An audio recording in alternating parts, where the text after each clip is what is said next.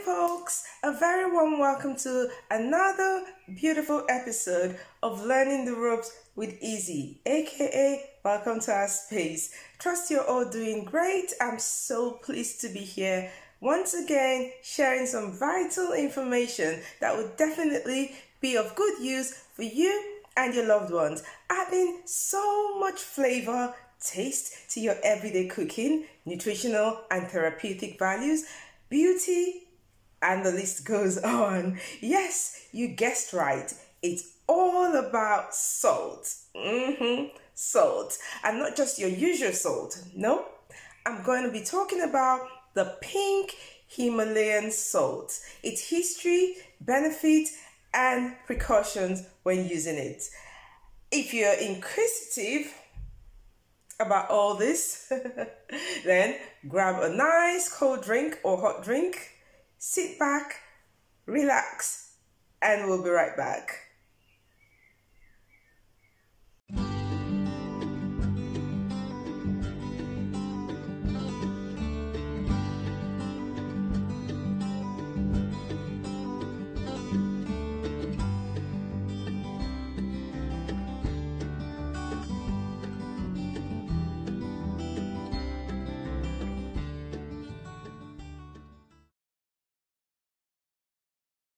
Welcome back to Learning the Ropes with Eezy. Salt is known to be a necessity of life and symbolizes purity, something that gives zest to life, and was a mineral used in ancient days in many cultures. People would often use salt as a preservative, um, people could would use it as a disinfectant, and also it's it's an important component of ceremonial offerings. For example, if you're from Nigeria, West Africa, some tribes usually use salt during a baby's naming ceremony and also during traditional wedding ceremonies. Salt was also used as a unit of exchange. Today, we're focusing on pink Himalayan salt. What is pink Himalayan salt? Pink Himalayan salt is a unique salt. It's often referred to as pink salt, rock salt, um, Himalayan crystal salt, and Himalayan sea salt. This salt originates from the Punjab region of Pakistan, about 190 miles from the Himalayan. Something very interesting about this region is that it has the richest salt fields in the entire world and are very, very old. The pink Himalayan salt is said to be the most beneficial salt on this planet today. It has great nutri um, nutritional and um, therapeutic properties. Oh, not to forget its culinary uses too. The pink Himalayan salt can be used to create body scrubs or even bath soaks. Um, you know, just like the way you use your Epsom salts uh, for your feet.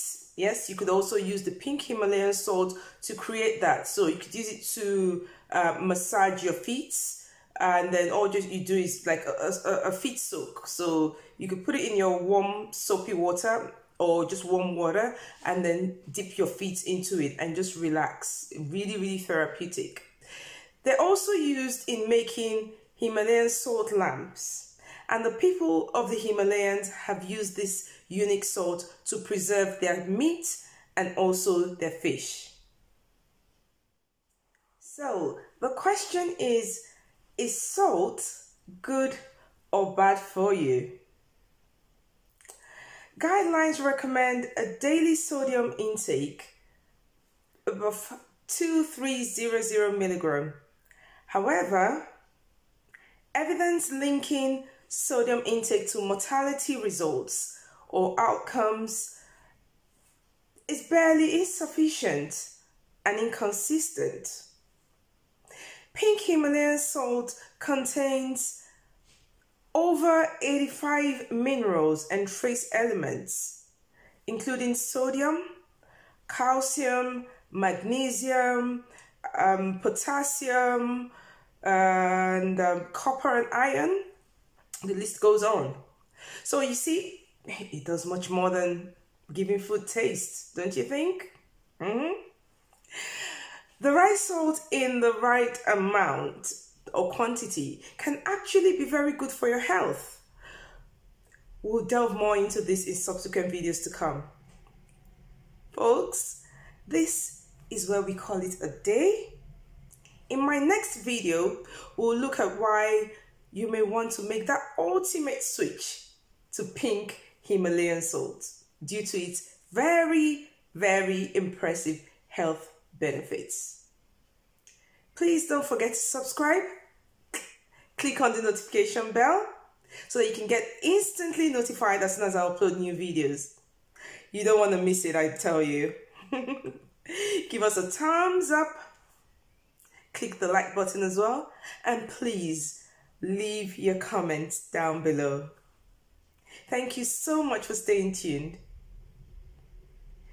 Join me on this journey as we learn the ropes. Love and peace. God bless.